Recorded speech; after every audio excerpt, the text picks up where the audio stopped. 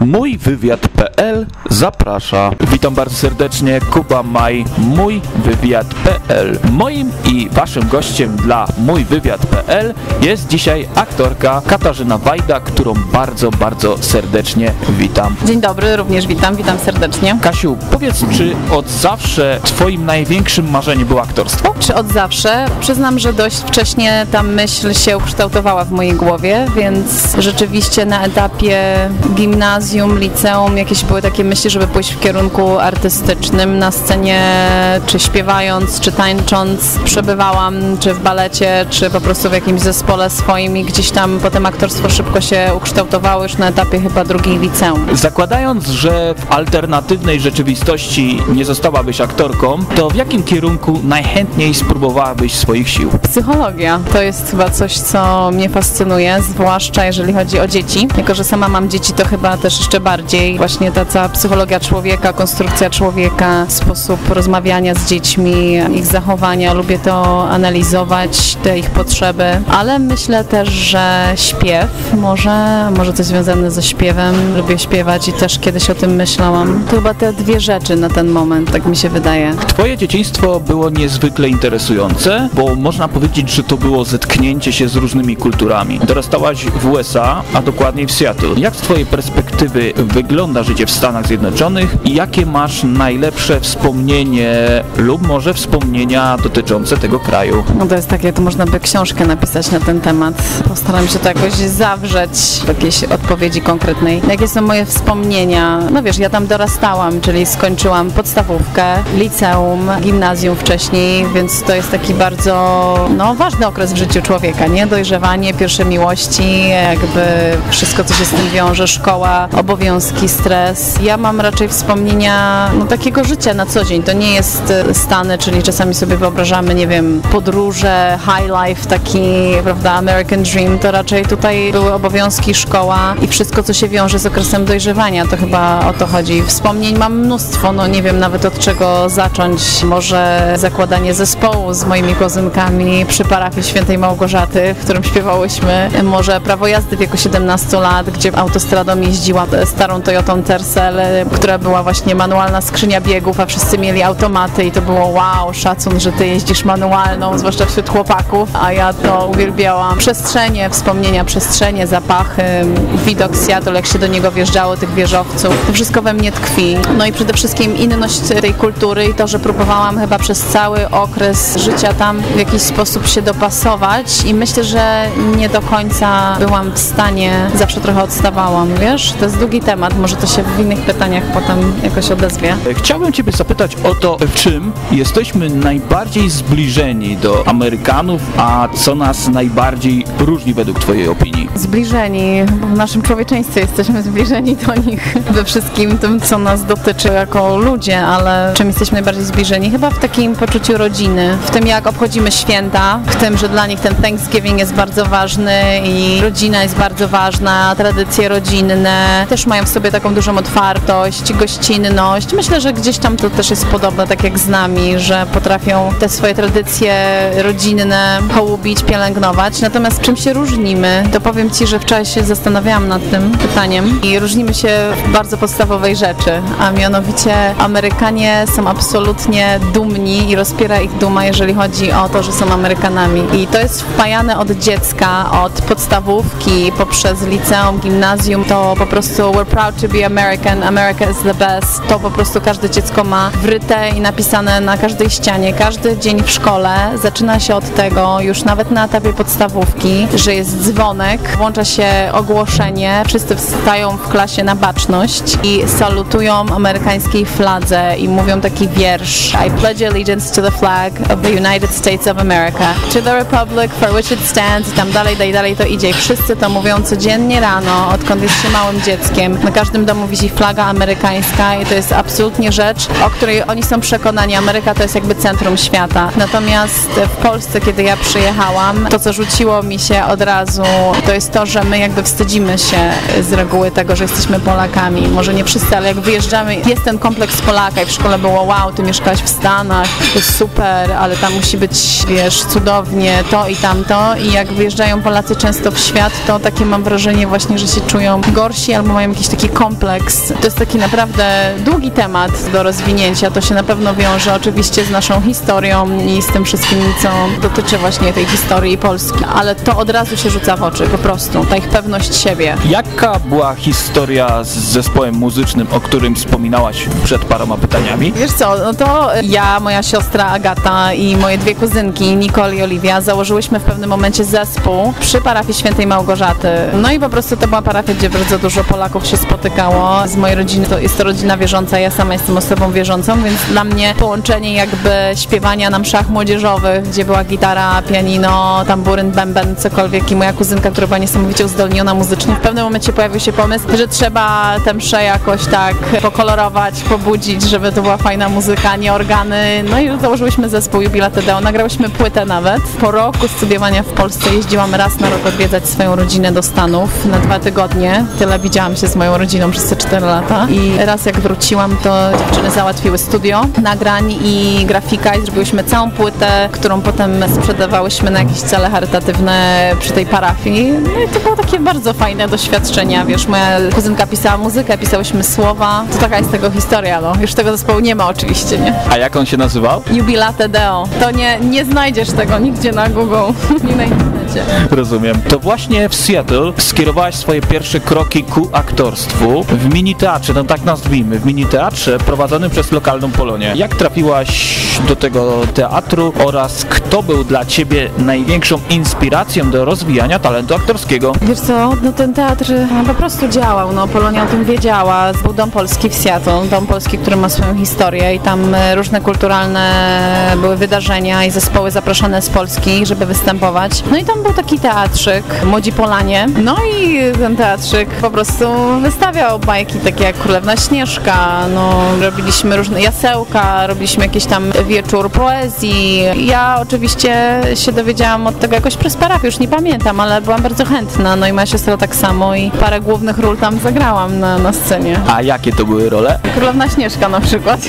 Królewna Śnieżka i w kabarecie z siostrą śpiewałam, chłopiec z gitarą byłby dla mnie parą, jakieś takie tego typu rzeczy, wiesz, już wszystkiego dobrze nie pamiętam, ale na pewno pamiętam nasze tournée do Oregonu, do innych stanów, do domów polskich, żeby występować z tymi naszymi mini przedstawieniami. A czy myślałaś o tym, aby studiować aktorstwo w Stanach Zjednoczonych? Tak poważnie nie, wiesz, bo znaczy myślałam gdzieś tam o tym, ale to dla mnie było przerażająca myśl, że miałabym jechać do Nowego Jorku czy do Kalifornii i zacząć studiować tam.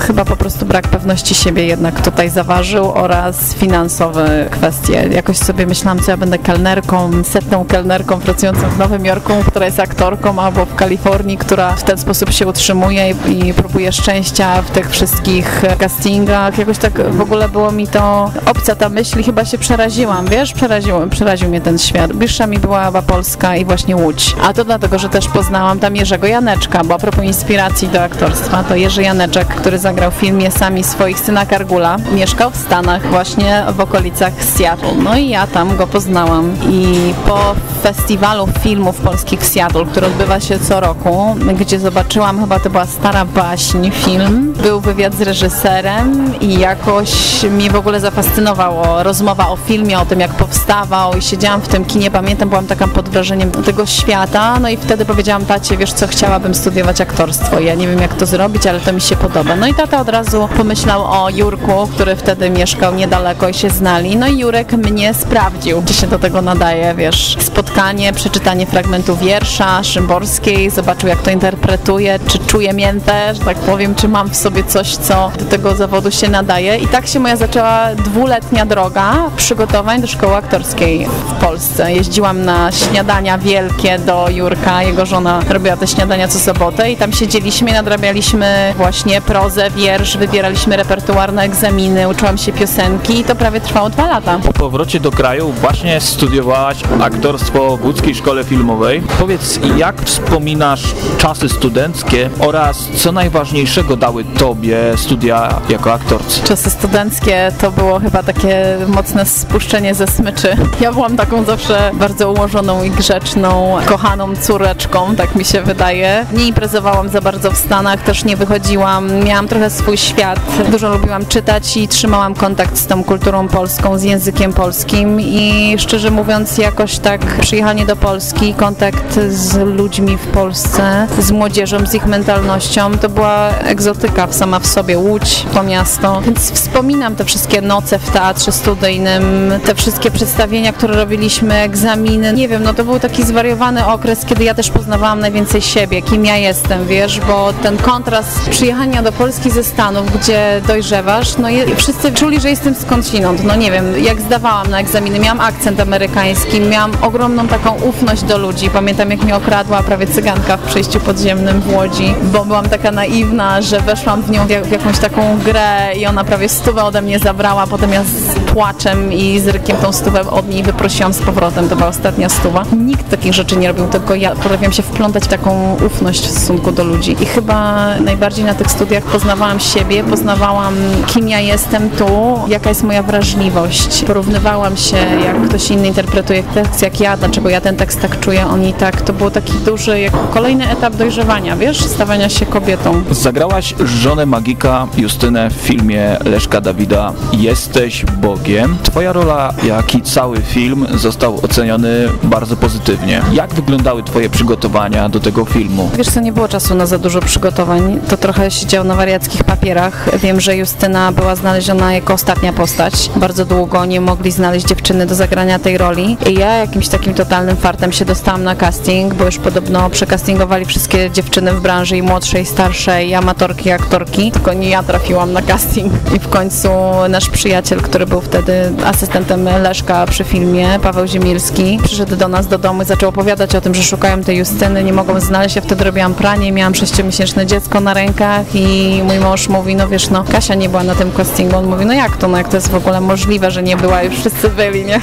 Mówi, no nie była. No to ja wysyłam do Leszka zdjęcia, no niech przyjdzie. Byłam ostatnią dziewczyną castingowaną do tego, ostatnią tego dnia i dwa dni później Majka Skryśkiewicz, która castingowała film, zadzwoniła, że to mam. I chyba po tygodniu, dwóch znalazłam się na planie i tak to wyglądało. I chyba, wiesz co, wrażenie jakie na mnie wywołał Marcin Kowalczyk, Szuchard i Dawid Ogrodnik, to jak oni byli przygotowani, jak oni byli w to wkręceni, jak oni już byli na etapie rapowania sami, tworzenia sami muzyki, byli totalnie w tym klimacie. Potem Katowice, klimat tych Katowic, jak włożyłam jeszcze te ogrodniczki, te spódniczki, te rzeczy z tamtych lat, to wszystko taka fala i spotkałam się też z Justyną. To była jedna rzecz, która bardzo mi pomogła, to jest spotkanie z Justyną. To wszystko jakoś się złożyło na przeżywanie tej roli, na to, że byłam w stanie łatwo wejść w ten świat, no, że to mi pomogło. Reszta to jest intuicja, nie wiem, po prostu zawodowa. Miałaś już wcześniej styczność z hip-hopem jako gatunkiem muzycznym? No jasne, no wiesz, w Stanach, no to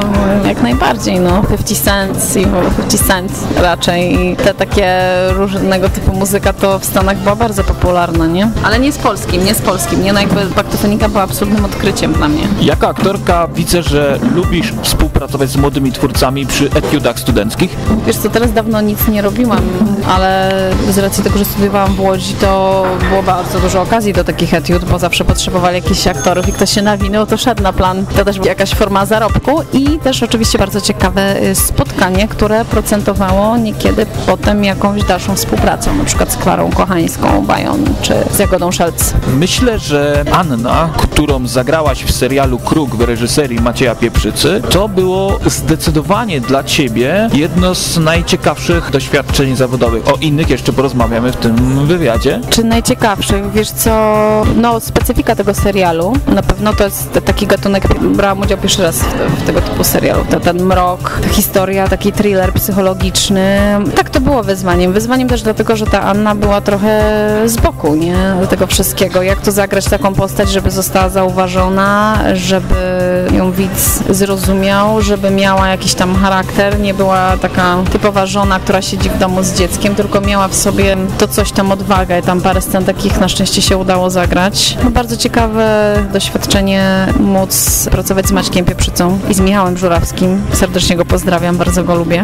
Widzę, że masz duże szczęście, o czym już przed chwilą wspomniałaś pokrótce. Masz duże szczęście współpracować z panem Maciejem Pieprzycą. Film Ikar, legenda Mietka Kosza, w którym zagrałaś siostrę Halinę. I tu jest y, pytanie takie, czy zagranie siostry zakonnej było dla ciebie jako aktorki taką formą szczególnego przeżycia? Czy szczególnego przeżycia? Myślę, że włożenie habitu, wiesz, jest w ogóle samo w sobie ciekawym przeżyciem. Ja się kiedyś zastanawiałam, czy nie iść do zakonu, to prawda. Miałam taki epizod w życiu, może każda dziewczyna młoda, tak słyszałam, że ma takie, jeżeli jest może wierząca, ma takie myśli. Zastanawiałam się nad tym, jak to jest być zakonnicą, jak to jest właśnie w taki sposób żyć. Szybko jednak się zorientowałam, że to nie jest dla mnie, jestem raczej powołana do rodziny i do tego zawodu, tak myślę. Tak, to założenie habitu powiedziałabym jest ciekawym doświadczeniem. Zostaje tylko twarz, wszystko inne jest schowane i nieistotne. Zostają emocje, twarz, samo w sobie ma coś takiego niesamowitego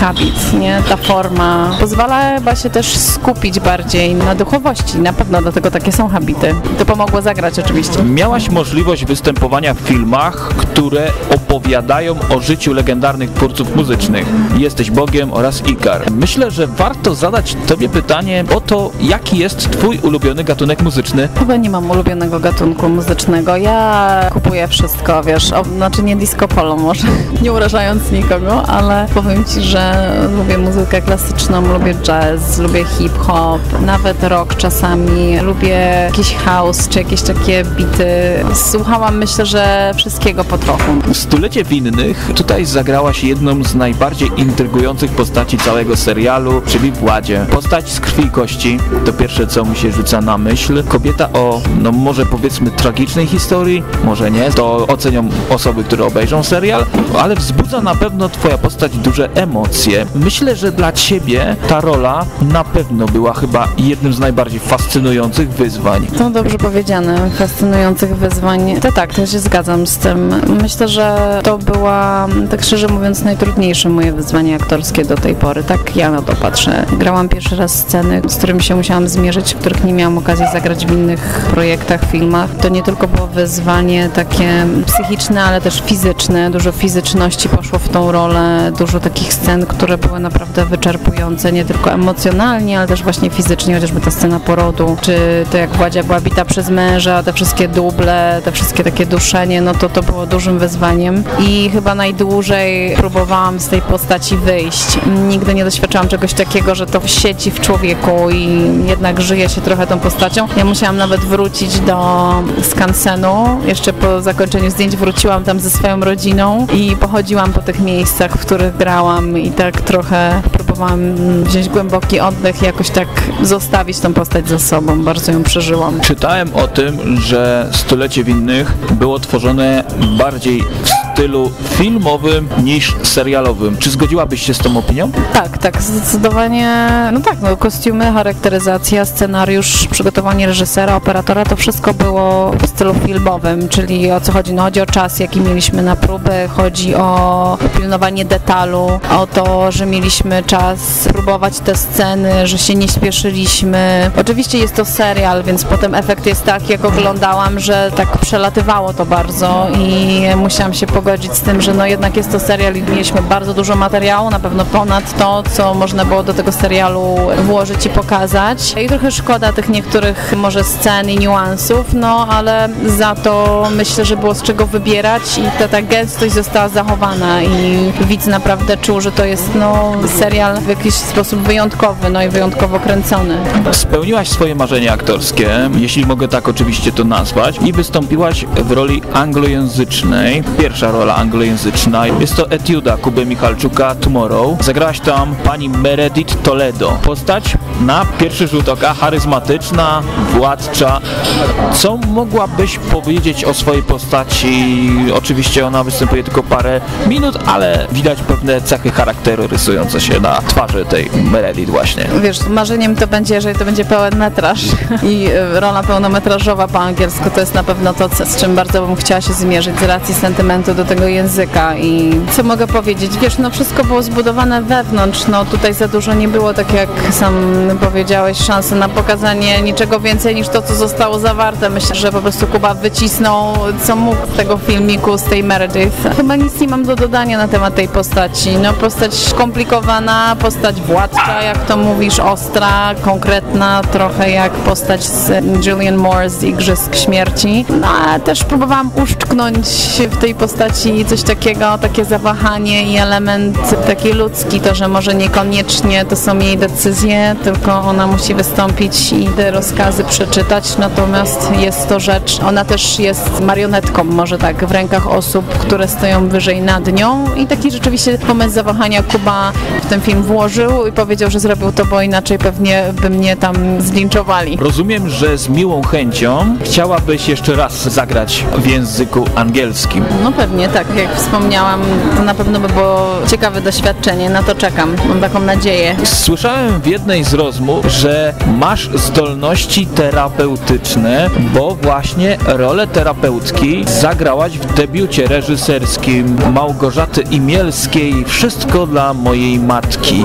Co mogłabyś powiedzieć o Izie, postaci, którą zagrałaś w tym filmie? Jaką jest osobą i czy rzeczywiście, bo w pewnym sensie mówiłaś na początku, że chciałabyś być psychologiem, więc bardzo mnie ciekawi właśnie, czy psycholog i terapeuta to było taki powrót do takich dziecięcych marzeń. Wiesz co, zdolności terapeutycznych to nie mam, to może jakoś tak, myślę, że tego nie powiedziałam, ale rzeczywiście miałam okazję zagrać terapeutkę. To, co mogę powiedzieć o tej postaci, to jest e, chyba nic dodać, nic ująć, niż to, co zobaczyliśmy w filmie. No jest to pozytywna postać, która widzi więcej, chce więcej, chce jakoś pomóc, nie jest taka obojętna wobec tej sytuacji, no ale też musi się dostosować do dyrektorki, do tego ośrodka i ma trochę ręce związane, natomiast fajnie, że jest taki moment, kiedy ta Iza zawalczy o główną bohaterkę, kiedy chce dociec prawdy. Postać, która jest świeża, która sama ma problemy chyba ze swoją kobiecością, za bardzo siebie nie dba, mam tam, jak wszyscy mówią, dość fajną charakteryzację, że ciężko mnie poznać, niektórzy nie poznali, że to ja w tym filmie. No i ma problemy z mężem, chyba tam za dużego ognia już nie ma w tym małżeństwie, oni się jakoś tam próbują,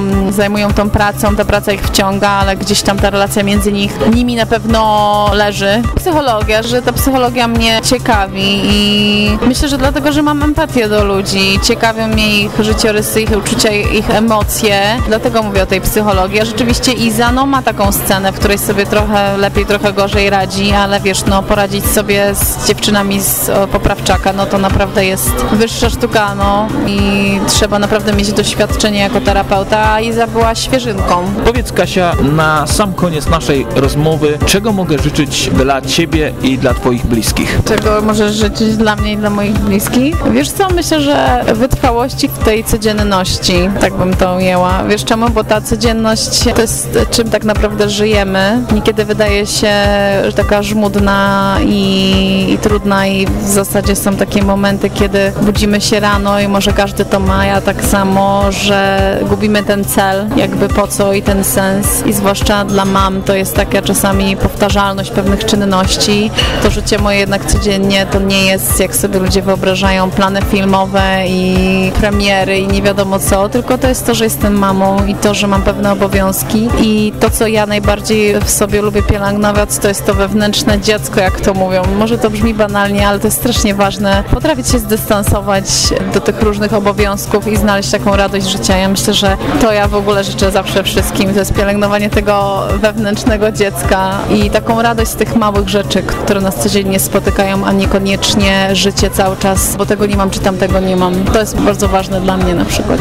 Życzę Ci tego z całego serca, aby Twoje życie miało dużo kolorytu, dużo wyzwań zawodowych, ale też dużo wolnego czasu pod kątem rodziny, marzeń prywatnych i tak dalej, i tak dalej. Bardzo serdecznie dziękuję Tobie za rozmowę. Moim i Waszym gościem dla mójwywiad.pl była aktorka Katarzyna Wajda. Dziękuję Ci jeszcze raz, Kasiu, za rozmowę. Bardzo dziękuję za rozmowę. Pozdrawiam. Zachęcam do subskrybowania i odwiedzania strony mójwywiad.pl. Zapraszam, Kuba Maj.